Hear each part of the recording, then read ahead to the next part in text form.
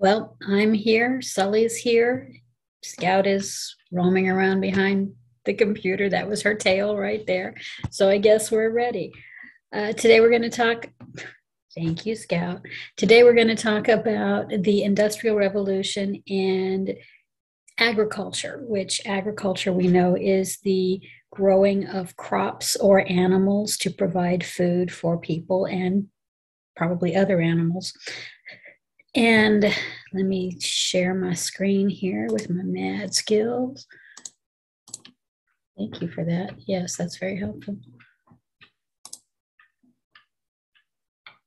And we'll start from right there. Okay.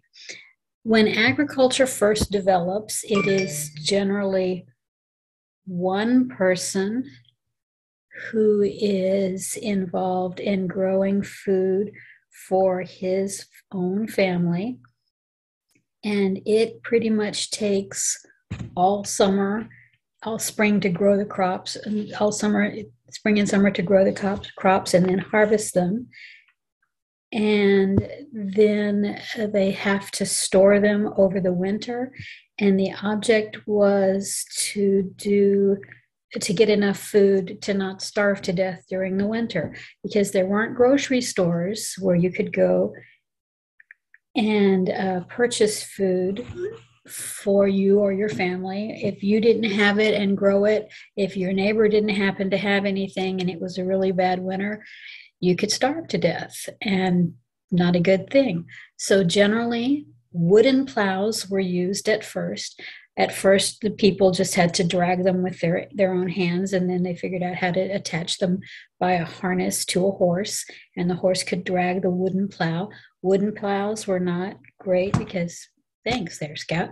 They're not horribly strong. They um, break easily. They rot over a period of time. They they they deteriorate and they become less effective after that after they got the, the furrow plowed which is what you call that that uh, trough that you dig into the dirt and then you plant the seeds in the farmer would have to plant the seeds pretty much by hand. Either he would just broadcast them or he would have to drop them one by one into the furrow. Uh, when the plants grew the farmer would harvest them using a scythe sorry, this is a sickle. A sickle is on a short handle that you uh, have to get way down close to the ground to to harvest. So you have to, you know, be bent down onto the ground. It slows down your progress. Or a scythe. A scythe is the weapon that you sometimes, if you've seen pictures of the Grim Reaper, that's the the the thing that he carries the long handle with the knife blade on the end. That is a scythe. That meant you could harvest the crops without having to bend down. It's because it's got a long handle and you can get down close to the ground. But then you have to go back and pick all of the stuff up that you've harvested that you've cut by hand and transport it maybe by a wagon to the barn. This is a time consuming process and if the weather goes wrong, still, if the weather goes wrong, you don't have a crop. So in 1700, a man named Jethro Tull in, in England invented what was called the seed drill. And this was a sort of a plow, but um, it dug the furrows more quickly and it allowed the seeds to be sown more efficiently. Now, we know that there is a band from the 70s and 80s called Jethro Tull, not that guy. It's named after him, but it's not him. In 1755, a man named Robert Bakewell in England began looking at animals and thinking, you know what? This sheep has better wool than that one over there. These two have better wool. What if I breed these two and maybe I get a whole bunch of sheep with better wool? And he began working on what's called selective breeding. This is choosing the um, the traits that you want to have in an animal and trying to get rid of the traits that you don't want to have. So he originated the breed called the Leicester long wool sheep. And it had much more wool than the average sheep had at that point. So um, it produced much more wool. So it was a, a very desirable animal to have because for sheep, what you want them mostly for is for the wool. Some of them were killed for the, the meat, but mostly sheep you keep for wool because you know you can harvest that from year to year to year and you, you don't need to get new sheep all the time. In 1758, we have the Scout, you okay there? She fell over. Oh well. She seems to be okay. She's clumsy. We have the invention of the threshing machine. This one's invented in Scotland by a man named Andrew Meikle. it was much more efficient from moving the chaff from the grain. Now, the chaff is the covering of the seed, and you have to take that off so that then you can grind the seed into, you were talking about wheat usually, grind the wheat into flour, and then it's used to make bread. If you leave that chaff on there, it's not digestible. It uh, creates a problem with making the flour it's something you don't want. You have to want that off of there. So you can see that they would feed the wheat into this machine here. It would kind of scrabble it around and take the chaff off. And then it would allow you to package up the wheat seeds or kernels and send those so you can see the chaff falls down here and the, the seeds fall down here um, before this, you would have to have like a floor on your barn. You would throw all of the wheat seeds, the wheat kernels down, the wheat stalks, sorry, down, and you'd have to beat them with what they called flails. And that's how you would get separate the kernels from the chaff. And it took a long time and a lot of manpower to do. In 1769, Robert Bakewell decided that he would work on cows next and he invented the longhorn cow. Now, this is not the longhorn that those of us from Texas are used to seeing. You can see this is a different cow altogether, but this was a beef cow that produced much more meat. It was much heavier, it was much more muscular than the average cow. And it um, was desirable because of that. Eventually, they would go back in and decide, you know, we don't want these things to have these horns like this. So they would go back in and they would take these these longhorn cattle and breed them down to get shorter horns, but still maintain the amount of beef that they had, which tends to be what we see as beef cattle now. In 1770, potatoes were introduced. They were brought over from South America and eventually made their way into England. And they provided an alternative food source to bread. Um, this was particularly useful for people who were poor. We know that the potato took hold and was grown a lot in Ireland, and it was then you know fed to poor people who now we have potatoes, so we don't have to have bread, we don't have to bake bread, we just eat these potatoes instead. In 1772, a man named Thomas Coke began experimenting with breeding undesirable traits and desirable traits into and out of animals on a larger scale. Uh, we know that Bakewell had played around with this some and done some one particular breed of sheep and one particular breed of cattle, Thomas Coke starts looking at, you know, let's look at all of the breeds and see what we can do about that.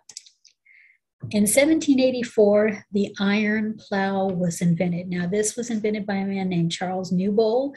He was actually in Burlington County in New Jersey in the United States. This was much more effective than wooden plows. This was made out of cast iron. Now, a lot of you have probably seen cast iron skillets that you're either your mom or maybe your grandmother, my grandmother had one, um, that are black and they're very heavy and they're really good to cook in as long as you keep them oiled and seasoned. Now, with the plow, the problem was the cast iron plow dirt stuck to it. And so you're plowing along, and every little while you have to stop and clean the plow off so that it will continue to plow. It's more effective than a wooden plow, but there's still a lot of problems with it. In 1809, a man named Nicolas Appert, I think that's how you pronounce that, in France, um, responded to a call by the government in France that wanted a means of preserving food for the army and navy to use. Because you know they they march for a long way or they're on ships for a long time. They need to have access to food that is edible but doesn't have to be fresh so he came up with this process for sealing food into an airtight container and then sterilizing it using heat. And that's the canning preservation process. Uh, we also have people that still do canning at home. They don't use these cans, they use those jars with the lids that you screw on. But it's the same basic process. You fill that up and then you um, heat it so that the heat um, seals the, the lid and that hopefully sterilizes what's inside there. In 1831, we have the mechanical reaper. Reaping is when you harvest, so you're cutting the grain and bringing it in. Cyrus McCormick invented this reaper when he was 22 years old.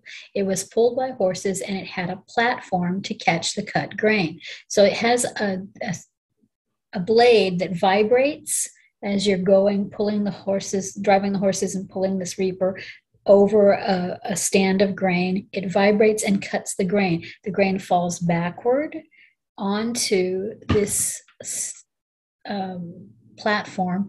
And when you get to the end of the row or whenever you get to wherever it is that's full, you stop, you unload that, put it into a wagon or put it into whatever you're using to store it and you don't have to go back into the field and pick it up by hand. In 1837, John Deere invented the steel plow. This was much more efficient than the cast iron plow because dirt didn't stick to it. It's still pulled by horses. It still only does one furrow at a time, but you don't have to stop every few minutes and clean it off. You just keep plowing. So it speeds things up considerably. Hello, Scout. In 1845, the first of the Irish potato famines hit. Now, potatoes at this point were the main source of food for the poor people in Ireland. And when this, this disease struck these potatoes, they would rot in the ground and become inedible. You can see that's a nasty looking potato. These are nasty looking potatoes. You don't eat those. This meant that the people had no food basically. And so this starts giving rise to large waves of migration out of Ireland, particularly going to the United States.